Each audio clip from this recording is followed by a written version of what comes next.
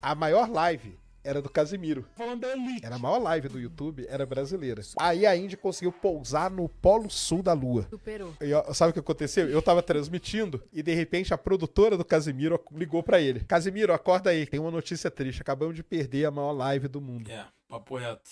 Ué, perdemos pra quem? Aí ela não sabia falar, ah, sei lá, tá tendo aí uma nave aí que tá pousando, sei lá. Aí ele entrou no YouTube e achou a minha live. E aí ele me mandou um superchat no meio da live. Falou, pô, Sérgio, que legal, mas tô triste porque perdemos aqui o, o primeiro lugar mundial. Aí eu li lá e falei, ah, Casé, ah, tudo bem, mas não é não. Depois ele me mandou um Era áudio. ele mesmo. Fui eu mesmo, cara, fui eu mesmo, nós perdemos. Deu 8 milhões de pessoas ao vivo. Insano.